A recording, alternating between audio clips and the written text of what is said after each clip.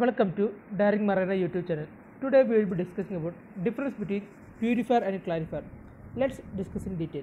Basic difference of purifier and clarifier. Purifier means they have lower disc has hole. Their lower disc will be having hole. They only separate water and solid substance. They will separate water and solid substance.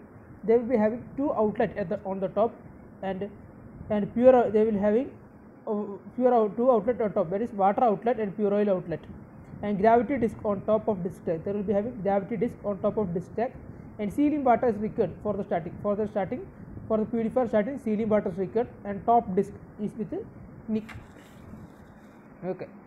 Then purifier means lower disc will be having holes then separates water and solid substance. The two outlet will be on the top. That means water outlet and pure oil pure oil outlet. Water outlet and pure oil outlet will be there. Gravity disc on top of disc stack sealing water is required for the starting top disc is there. Then clarifier. Clarifier means the lower disc will be having not having no holes. Lower disc will not be having no holes and separates only solid particles. Clarifier separates only solid particles. Here there is no gravity disc there is no gravity disc here outlet. There will be only one only cleaned oil outlet at the top. For the purifier there are two outlet. For uh, here only one oil outlet at the top then sealing water here is not required. And disc without neck.